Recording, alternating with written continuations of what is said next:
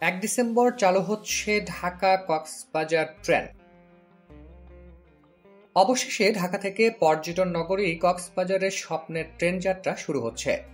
সাতশো আশি জন যাত্রী নিয়ে কক্সবাজার এক্সপ্রেস নামের বিরতিহীন ট্রেনটি আগামী এক ডিসেম্বর রাত দশটা তিরিশ মিনিটে ঢাকা থেকে কক্সবাজারের উদ্দেশ্যে ছেড়ে যাবে।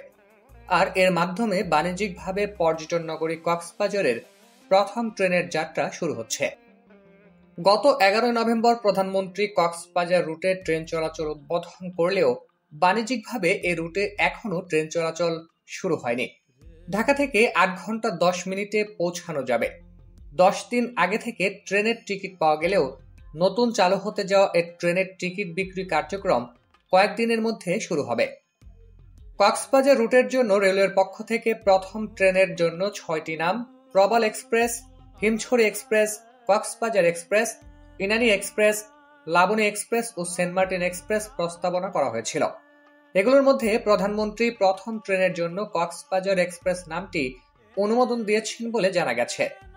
ঢাকা থেকে কক্সবাজারের উদ্দেশ্যে ছেড়ে যাওয়া ট্রেনটির নম্বর রেলওয়ের পক্ষ থেকে আটশো তেরো ও কক্সবাজার থেকে ঢাকার উদ্দেশ্যে ছেড়ে আসা ট্রেনের নম্বর আটশো চোদ্দ নির্ধারণ করা হয়েছে। দক্ষিণ কোরিয়া থেকে আমদানি করা বিলাসবহুল এ ট্রেনে পনেরোটি কোচ থাকছে। এর মধ্যে ছয়টি এসি কোচে তিনশো তিরিশটি সিট, সাতটি নন এসি কোচে চারশো বিশটি সিট ও দুটি খাবার গাড়ির কোচে তিরিশটি নন এসি সিট রয়েছে। নতুন চালু হতে যাওয়া ট্রেনটির শিডিউল প্রসঙ্গে পূর্বাঞ্চলীয় রেলওয়ের ব্যবস্থাপক সাইফুল ইসলাম বলেন, ট্রেনটি ঢাকা থেকে রাত দশটা তিরিশ মিনিটে ছেড়ে কক্সবাজারে সকাল ছয়টা চল্লিশ মিনিটে পৌঁছবে।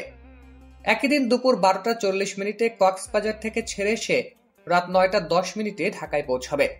ঢাকা থেকে সোমবার বন্ধ থাকবে এবং কক্সবাজার থেকে মঙ্গলবার বন্ধ থাকবে ট্রেনটি। দোহাজারি থেকে কক্সবাজার পর্যন্ত একশো দুই কিলোমিটার ডুয়েল গেজের মিটার ও ব্রডগেজ রেললাইন বাণিজ্যিকভাবে ট্রেন চলাচলের জন্য প্রস্তুত কিনা জানতে চাইলে রেলওয়ের অতিরিক্ত মহাপরিচালক অপারেশন সর্দার শাহাদাত আলী বলেন, আমাদের পুরো রেললাইন প্রস্তুত। বিরতিহীনভাবে চালু হতে যাওয়া ট্রেনটি চট্টগ্রাম রেলওয়ে স্টেশনে যাত্রা বিরতি দেবে।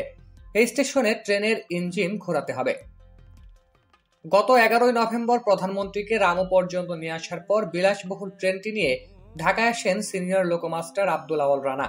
নতুন রেলপথ প্রসঙ্গে জানতে চাইলে তিনি বলেন, নতুন রেল লাইনে সহজেই আশি কিলোমিটারের বেশি গতিতে ট্রেন চালানো সম্ভব।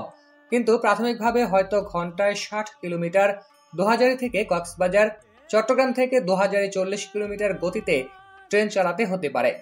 এছাড়া ঢাকা চট্টগ্রাম রুটে সত্তর থেকে আশি কিলোমিটার গতিতে ট্রেন পরিচালনা করা যায়। অন্যদিকে কর্ণফুলী নদীর উপর কালোরঘাট সেতু সংস্কার হয়। প্রাথমিকভাবে এ সেতুর উপর দিয়ে ঘন্টায় দশ কিলোমিটার গতিতে ট্রেন চালানোর বিষয়ে সিদ্ধান্ত রয়েছে। বাণিজ্যিকভাবে ট্রেন পরিচালনার জন্য মধ্যবর্তী স্টেশনগুলো প্রস্তুত কিনা জানতে চাইলে পূর্বাঞ্চলীয় রেলওয়ের কর্মকর্তারা জানান, এখন যেহেতু বিরতিহীন ট্রেন পরিচালনা করা হবে তাই মধ্যবর্তী স্টেশনগুলো এখনই কাজে লাগছে না। তবে আগামী কয়েকদিনের মধ্যে এগুলো উপযোগী হয়ে যাবে। চট্টগ্রামে থামলেও চট্টগ্রাম থেকে যাত্রীরা এর ট্রেনে উঠতে পারবেন না। এ বিষয়ে পূর্বাঞ্চলীয় রেলওয়ের বিভাগীয় ব্যবস্থাপক সাইফুল ইসলাম বলেন, চট্টগ্রাম থেকে যাত্রী ওঠানোর বিষয়ে এখনও কোনো সিদ্ধান্ত আসেনি। তাই এখনই এ বিষয়ে মন্তব্য করা যাচ্ছে না। কিন্তু এ ট্রেনের অনুমোদন সম্পর্কে কি দেয়া হয়েছে জানতে চাইলে রেলপথ মন্ত্রণালয়ের উপসচিব প্রশাসন দুই মোহাম্মদ তৌফিক ইমাম বলেন, ঢাকা থেকে ছেড়ে যাওয়ার পর ট্রেনটি বিমানবন্দর ও চট্টগ্রাম রেলওয়ে স্টেশনে থামার অনুমোদন দেওয়া হয়েছে। সে হিসেবে এ দুই স্টেশন থেকে যাত্রী উঠানো ও নামানোর সুযোগ থাকতে পারে। আর এ বিষয়টি সঠিকভাবে বলতে পারবে রেলওয়ের অপারেশন বিভাগ।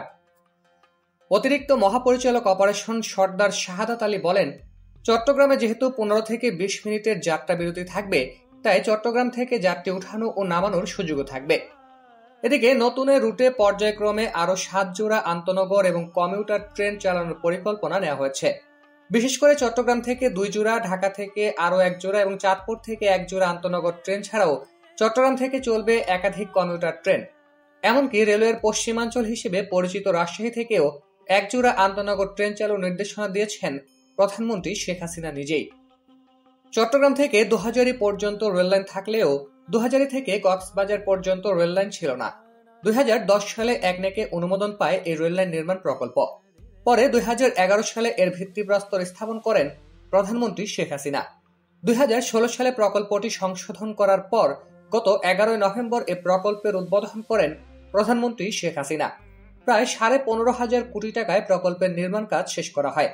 আর এতে কক্সবাজারের সঙ্গে সারা দেশে রেল যোগাযোগের সূচনা হয়।